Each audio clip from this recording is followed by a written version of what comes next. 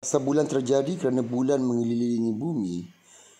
Pada kedudukan ini, bulan kelihatan gelap kerana bulan membelakangi matahari dan daripada bumi kelihatan bulan kelihatan gelap.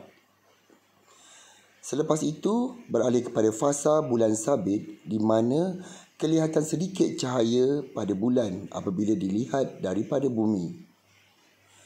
Pada ketika ini, bulan separa kelihatan kerana daripada bumi kelihatan bulan seperti separuh terang. Seterusnya, pada kedudukan ini bulan hampir purnama di mana bulan seolah-olah hampir kelihatan penuh.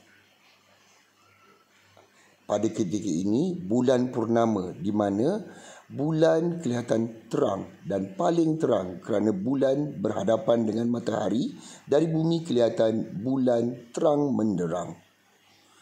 Kemudian bulan memasuki fasa bulan hampir purnama di mana bulan kelihatan gelap sedikit daripada bulan purnama. Kemudian ia memasuki bulan separa kerana daripada bumi kelihatan bulan seperti separuh terang. Pada kedudukan ini, bulan sabit berlaku semula. Hanya sedikit sahaja cahaya kelihatan daripada bumi.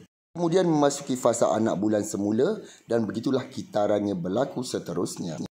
Ini ialah demonstrasi fasa bulan.